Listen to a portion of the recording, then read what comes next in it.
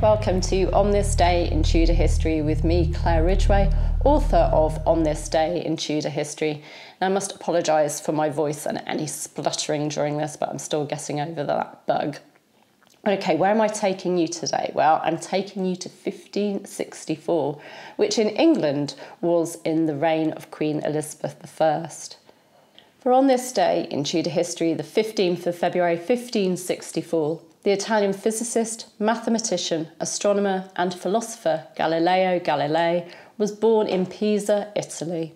He was the eldest child of musician, composer, and music theorist Vincenzo Galilei and his wife Julia. Galileo considered becoming a priest, but instead studied at the University of Pisa, choosing medicine to start with, and then changing to mathematics and natural philosophy.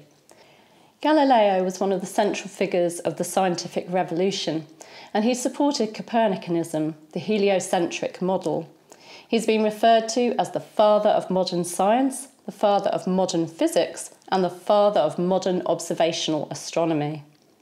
He is also known for his discovery of the Galilean moons, Jupiter's satellites, Io, Europa, Ganymede, and Callisto, his improved military compass, and his work on the telescope, which allowed Jupiter's satellites to be seen, as well as the Moon's mountains. But what else did Galileo do? He created a hydrostatic balance to measure the density of objects.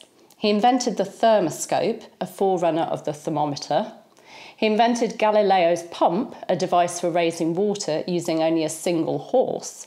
He began work on a pendulum clock, but died before his design was finished he saw that the Milky Way was not just a band of light, but was made up of stars.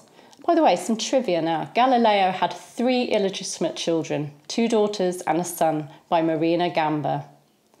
In 1633, Galileo was tried for heresy by the Inquisition for his view that the earth revolved around the sun, which he'd made public in his 1632 work, Dialogue Concerning the Two Chief World Systems, Ptolemaic and Copernican the Catholic Church promoted the belief that the earth was at the centre of the universe and that all the heavenly bodies revolved around the earth. Galileo was found guilty, forced to publicly recant, and he spent the rest of his life under house arrest. Galileo died in Arcetri, near Florence, on the 8th of January 1642, aged 77. I'll leave you with a Galileo quote. It's taken from his 1615 letter to the Grand Duchess Christina, in which he was defending science against those who attacked it on the grounds of religion.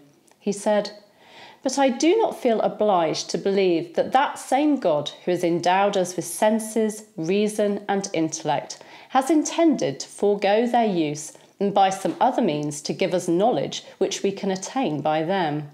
He would not require us to deny sense and reason in physical matters which are set before our eyes and minds by direct experience or necessary demonstrations.